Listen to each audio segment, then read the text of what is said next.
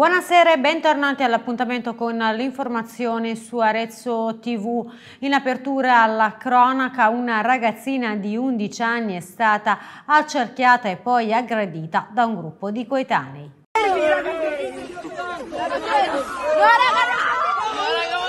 E l'ha picchiato, l'ha torturato, l'ha sputato e ha rotto i capelli e ora siamo dietro alla chiusura, vediamo che che fa la polizia. Una ragazzina di appena 11 anni è stata accerchiata e picchiata violentemente da altri ragazzini più o meno sui 13-14 anni. È successo qui dove ci troviamo in questo momento, nella zona del parcheggio della Cadorna ad Arezzo. La bambina è proprio scioccata. Ma perché? A parlare sono i genitori della ragazzina che sabato scorso nell'area del parcheggio Cadorna ad Arezzo è stata accerchiata e picchiata violentemente da un gruppo di ragazzi tra i 13 e i 14 anni. Dopo ore al pronto soccorso la bambina è stata dimessa, i genitori hanno sporto denuncia alla polizia sul caso, indaga la squadra mobile di Arezzo diretta da Sergio Leo. Tutto sarebbe nato da una serie di messaggi che la undicenne si sarebbe scambiata con altri coetanei e alcuni ragazzi di poco più grandi. All'arrivo nella zona del parcheggio la vittima è stata accerchiata da una ventina di ragazzi, un vero e proprio branco, così lo avrebbe definito nel racconto agli inquirenti. Una cintura per picchiarla mentre che stavano addosso, calci e pugni da tutte le parti. La salvata che era vestita a peso.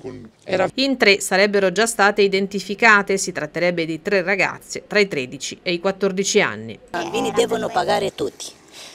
L'hanno picchiato, le ha tirato i capelli in quel modo, una cosa mai vista in vita mia, non succede al mondo una cosa così. Non li fermiamo, succede anche domani, dopodomani e non è stato ritrovato il furgone rubato nella mattina del 14 febbraio a Terontola. Il mezzo da lavoro è ricomparso a Città di Castello, è stato usato per un tentativo di furto andato a vuoto la notte scorsa.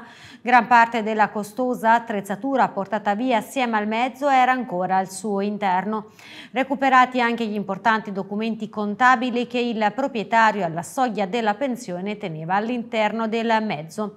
A lanciare l'allarme tra tramite social era stata la figlia del proprietario del furgone. Ed ancora cronaca, un 48enne polacco residente in città si era presentato agli uffici della Polizia Municipale per consegnare la patente di guida sospesa dalla prefettura perché trovato a circolare sotto l'effetto di sostanze stupefacenti. Solo che dopo aver consegnato il documento l'uomo si è allontanato alla guida della propria auto. Subito intercettato e fermato poco dopo da una pattuglia degli stessi vigili urbani è scattata la, la sanzione per guida con patente sospesa e il veicolo è stato posto a fermo amministrativo per tre mesi. Segnalato l'accaduto anche alla prefettura per il previsto provvedimento di revoca della patente di guida. A Rigutino invece questa mattina è divampato un incendio in un cantiere. Sul posto vigili del fuoco e sanitari dell'emergenza urgenza che hanno soccorso due uomini di 31 e 50 anni. Ancora da chiarire le cause del rogo. Adesso ci spostiamo in Valdarno per tornare a parlare dell'inchiesta CEU che ha toccato anche questo territorio. Questa mattina sono iniziate le operazioni di messa in sicurezza dell'impianto Le Rose. I cancelli dell'impianto Le Rose di Levane questa mattina si sono riaperti per la messa in sicurezza.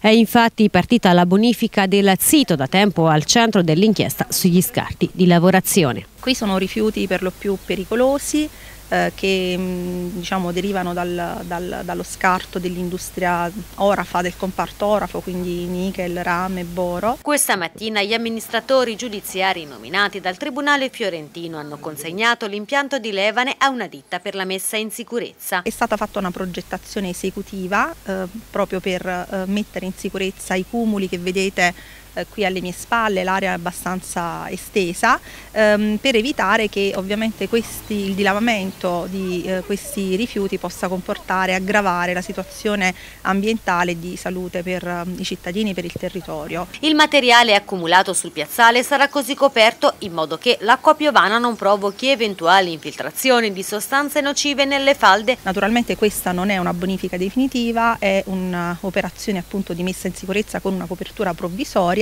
eh, e ci auguriamo, auspichiamo che anche grazie all'aiuto degli enti autorizzativi eh, si possa eh, procedere poi a un allontanamento definitivo di questi rifiuti e una destinazione a discarica eh, per rifiuti pericolosi. Il comune di Bucine ha già annunciato che si costituirà parte civile nel processo CHEU perché veramente come territorio siamo un, una parte lesa, perché eh, come sapete tutti Bucine e la Valdambra è un territorio che lavora molto, eh, lavora. Eh, il suo pregio primario è proprio quello della, della, della bellezza del territorio, della natura, i prodotti dell'agricoltura, il turismo, quindi vedere il nome di Bucine, di Levane sui giornali per, per l'indagine sul che ovviamente è un danno di immagine enorme. Continuano le giornate del ciclo di incontri del progetto ministeriale Cultura della Legalità che l'Arma dei Carabinieri sta svolgendo all'interno delle scuole. Oggi all'Ipsia di Castiglion Fiorentino alla presenza del comandante della compagnia Carabinieri di Cortona de Santis e del comandante della locale stazione Amodio. Tanti gli argomenti toccati, tra questi la problematica della guida in stato di ebbrezza con prove pratiche di utilizzo del l'etilometro. I carabinieri hanno poi illustrato anche in, in, maniera tangibile come contrastano e prevengono la commissione di reati di vario genere, dal bullismo al cyberbullismo, dall'uso smodato di bevande alcoliche, sostanze stupefacenti e responsabilità penali con il contatto diretto con il mondo della scuola.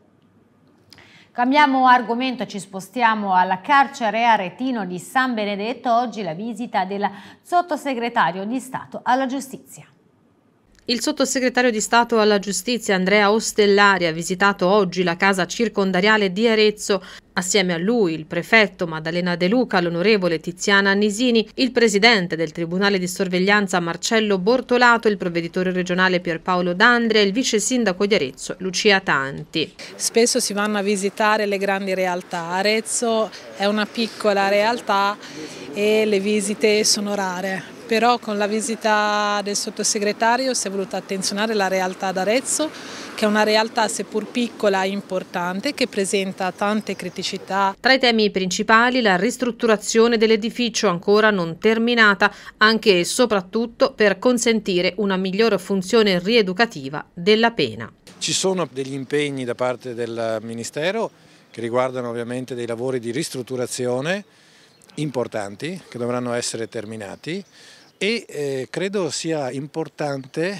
anche per la funzione rieducativa della pena investire ancora di più sotto il profilo del trattamento. Lancio diciamo così un'idea da qui, eh, c'è questa struttura che è alle mie spalle che mm, è una vecchia caserma eh, abbandonata di proprietà del demanio, io penso che possa essere utile magari un ragionamento che mh, mm, verifichi la disponibilità magari anche del mondo imprenditoriale locale, per un investimento di ristrutturazione di questo edificio che possa permettere di avere più spazio per eh, il trattamento che deve essere ovviamente il nostro primo obiettivo in questo caso. Al termine del sopralluogo Ostellari ha incontrato i rappresentanti del personale della Polizia Penitenziaria che prestano servizio nell'istituto e che hanno lamentato un mancato confronto con il sottosegretario. Questo non mi sembra un rispetto, ma non per la mia persona, per l'organizzazione che rappresenta. Ovviamente sapendo benissimo che io ho una delega, anzi ho due deleghe mh, particolari all'interno di, di, questo dipartimento, eh, il trattamento dei detenuti e i provveditori, quindi di questo mi occupo, per il resto ho salutato e ovviamente sono a loro disposizione eh, anche confrontandomi con il sottosegretario mio collega. Abbiamo comunque rassicurato i vertici politici del governo per quanto riguarda la nostra piena disponibilità a collaborare con le altre aree presenti all'interno di un istituto penitenziario. Il progetto Itinerari dei Cammini di Francesco per la parte che insiste in città vedrà l'inizio dei lavori di realizzazione nei prossimi mesi estivi. A seguito dell'approvazione da parte della Giunta, l'amministrazione ha infatti avviato e concluso l'iter di affidamento dei lavori. Si tratta di un intervento di circa 270 mila euro finanziato dal Ministero dei Beni Culturali, la cui opera di maggior rilievo consiste nell'apertura dell'accesso a nord delle mura storiche adiacenti alla fortezza. Questo consentirà il collegamento del tratto dell'antica via Romea e dei cammini di San Francesco. Torniamo adesso invece a parlare del mercato delle logge del grano, prosegue la raccolta firme per salvarlo. Sono già quasi 800 le firme raccolte per salvare il mercato delle logge del grano. A lanciare la petizione online ad inizio febbraio era stata l'associazione 2020 per cambiare a sinistra. Il mercato coperto è chiuso dall'inizio di gennaio, circa 70 le aziende del territorio coinvolte che per sette anni hanno gestito la vendita diretta di prodotti agroalimentari e l'osteria del mercato, 11 invece i posti di lavoro persi. Oltre a sottolineare il grande valore economico e sociale sociale del progetto interrotto bruscamente, la petizione si rivolge ai cittadini invitandoli a firmare per chiedere che questa esperienza venga seguita con attenzione sostenuta da parte del Comune di Arezzo per sostenere le piccole imprese del territorio che in questi sette anni, si legge, hanno reso un servizio per aretini e turisti promuovendo le eccellenze del territorio. L'obiettivo minimo della petizione online che si trova sulla piattaforma change.org con il titolo Salviamo il mercato coperto delle logge del grano Milano di Arezzo sono almeno mille firme. La questione entrerà anche in Consiglio Comunale che tornerà a riunirsi il prossimo 23 febbraio. A sollevare il tema sarà il consigliere di Arezzo 2020 Francesco Romizzi. Oggi ultimo di Carnevale ed è tornata la festa nel cuore della città, quella in piazza Sant'Agostino. Coriandoli, maschere, trenino, musica e soprattutto tanto divertimento. Per l'ultimo di Carnevale si torna a festeggiare in piazza Sant'Agostino. L'evento come sempre è stato organizzato dai commercianti della piazza, da Confesercenti e Confcommercio. Vedere i bambini che si divertono così liberi senza nessun intoppo, è bellissimo. I genitori sono contenti perché sono tutti tranquilli i bambini qua. Una pazza tutta chiusa al traffico, meglio di qui, non si può fare di meglio, insomma, si può chiedere di meglio. Un pomeriggio all'insegna del divertimento per i più piccoli con l'intramontabile trenino del Carnevale dell'Orciolaia, ma anche maschere Disney e la Wiki Race. In piazza Sant'Agostino poi anche le maschere barocche del Carnevale dei Figli di Bocco. Ad animare la serata invece fino alla mezzanotte la musica e il karaoke del trio Beppe, Marco e Roby.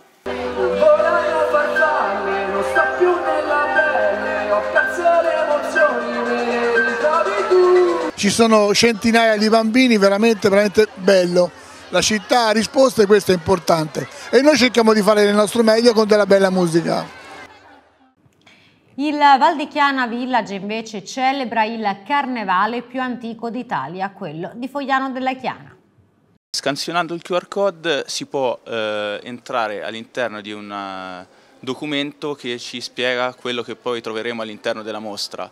Alcuni esempi delle figure che hanno fatto parte dei giganti di cartapesta e poi una bellissima mostra fotografica, così si celebra il carnevale più antico d'Italia, quello di Foiano della Chiana, al Valdichiana Village. Un evento eh, del nostro territorio, del comune che ci ospita, è un evento di eccellenza, eh, è appunto uno degli eventi poi più storici e più antichi eh, d'Italia eh, e noi come tradizione ormai lo eh, celebriamo attraverso questa bellissima mostra fotografica, eh, ma anche poi una mostra che racconta l'abilità eh, che eh, c'è eh, diciamo, in paese per la costruzione dei carri, quindi con eh, delle riproduzioni in cartapesta eh, e poi chiaramente con la mascherata di sabato 25 eh, dove si potranno esibire il, sia le coreografie ma anche l'abilità in questo caso nella realizzazione dei costumi eh, di carnevale dei quattro, dei quattro cantieri.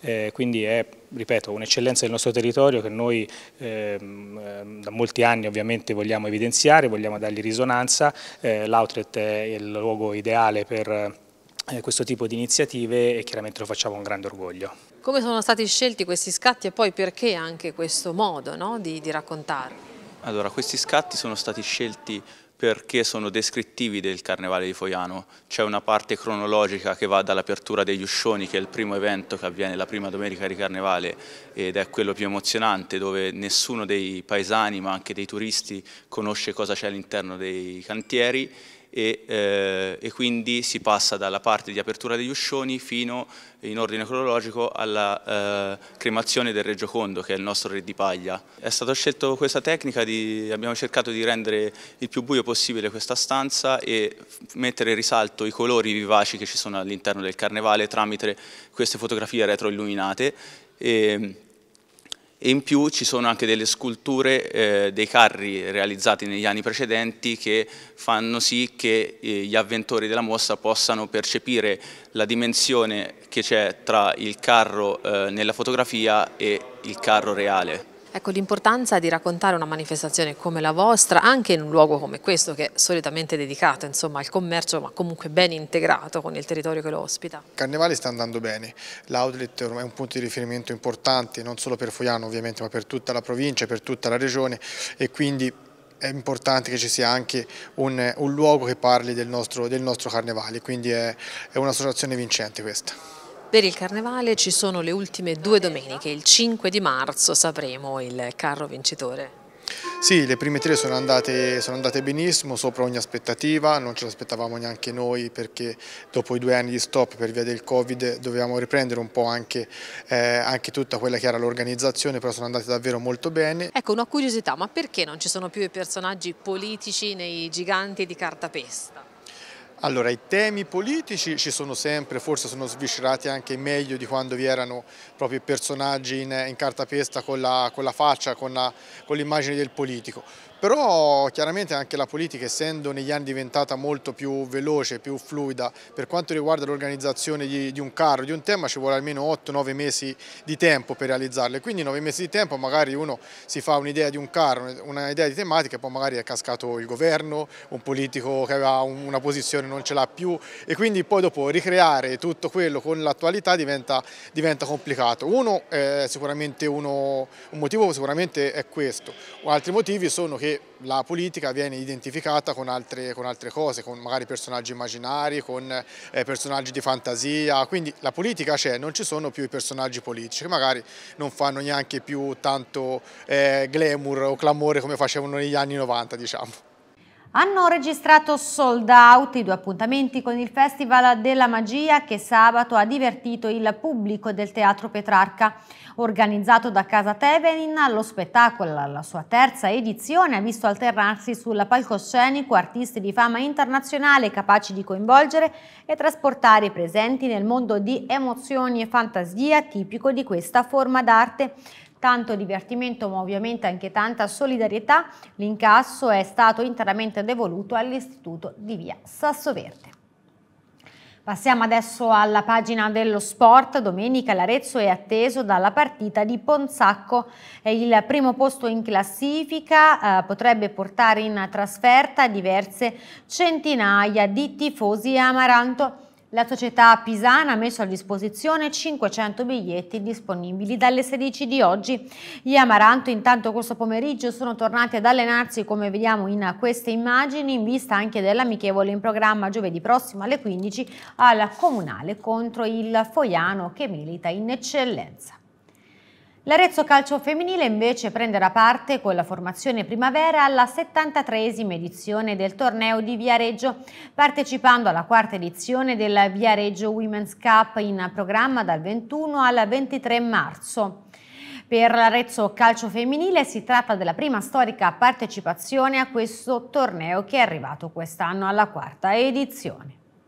Passiamo adesso al nuoto, due primi posti, tre secondi posti e tre terzi posti per la chimera nuoto nella prova invernale di Livorno. Il percorso di avvicinamento al campionato toscano giovanile invernale è infatti scandito da una serie di tappe di qualificazione interprovinciali dove atleti ed atlete della società aretina stanno misurando il livello della loro preparazione e stanno ben figurando tra positivi piazzamenti e miglioramenti cronometrici. La maggior soddisfazione della prova eh, livornese è arrivata con Gaia Burzi 2007 che si è piazzata davanti a tutti nei 200 misti e soprattutto ha centrato la qualificazione per i prossimi campionati italiani giovanili. Questa per stasera era l'ultima notizia, vi ringrazio per l'attenzione, arrivederci.